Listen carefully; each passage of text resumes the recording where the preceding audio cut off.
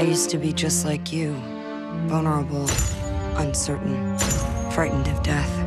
Then everything changed only 12 hours ago. Please,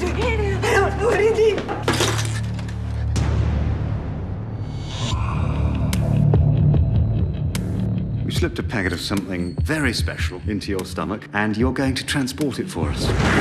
It is said that we humans only use 10% of our cerebral capacity. What if there was a way of accessing 100% of our brain? I'm able to do things I've never done before. I feel everything. And I can control the elements around me. Believe me, That's amazing. They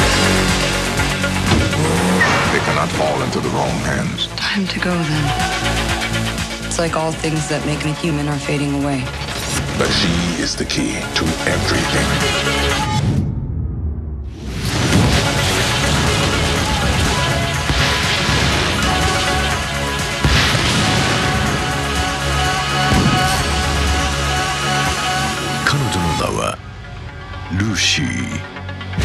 Miss, don't move. I need you to put your hands up, please.